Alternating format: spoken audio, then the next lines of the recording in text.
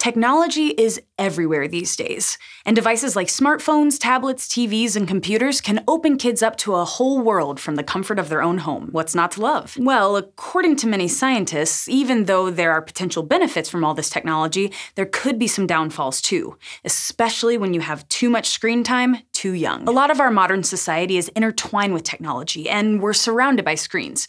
Heck, everything from friendships to careers can depend on the internet. So learning how to use tech, like phones and computers at a young age, might seem like a good idea. But psychologists are generally urging some caution. Not everything about using a lot of technology can be positive, especially when it comes to early childhood development. Theories of learning in early childhood place a lot of emphasis on interaction with physical objects. Piaget is one of the most influential developmental psychologists. He called infants little scientists and suggested that babies experiment with different objects to learn how they move, what they're made of, or how they can be used. Then their brains store all this information away to understand the world and use as they grow older. However, screens don't provide the same variety of stimulation to young kids' brains.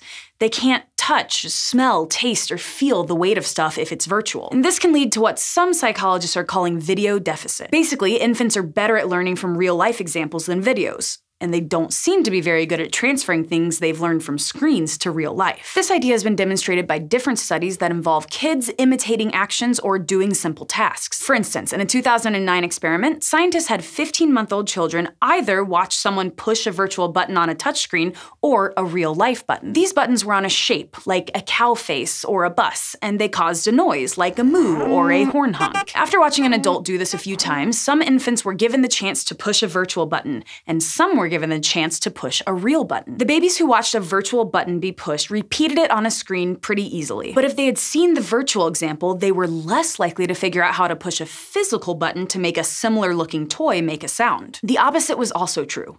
Kids that had seen a real life demonstration were pretty good at repeating the action, but they weren't as good at pressing the virtual button. In all cases, though, Imitating a demonstration meant they did better than coming into the task without any example, which the scientists measured as a baseline. The researchers suggest that this data means that infants are able to learn from both kinds of demonstrations, but their brains aren't great at translating what they learn between virtual and physical spaces. So babies might not be getting as much useful information from educational shows as you might hope. In other words, screen time could be eating into time that could be spent physically exploring the world or learning how to communicate with other people. Because of research like this, organizations Organizations like the American Academy of Pediatrics recommend no screen time for children under the age of two, and to limit screen time for other ages. It's important to remember that this research is all pretty new, and it's not all doom and gloom. For example, a study from 2000 noted that using computers in kindergarten and elementary school children can be helpful with things like creativity, problem solving, and even motor skills. But these results can vary depending on how often kids use computers and how they're using them. So, educational psychologists think that technology can be a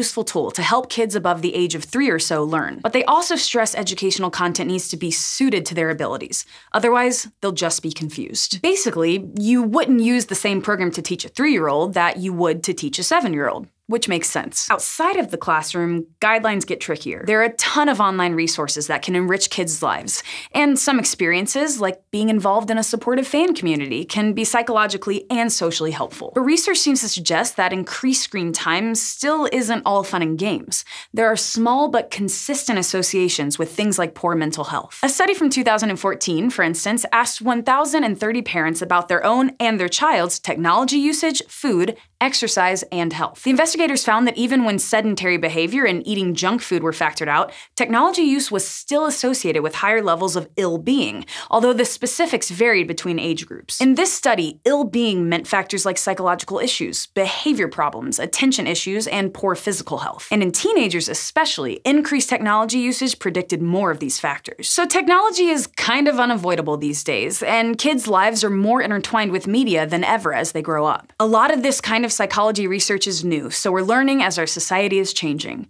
But if we can take anything away from all this so far, it's that moderation seems to be key. Thanks for spending some of your screen time today watching this episode of SciShow Psych. If you want to help support our show, you can go to patreon.com slash scishow. And to keep learning about the brain with us, you can go to youtube.com slash scishow psych and subscribe.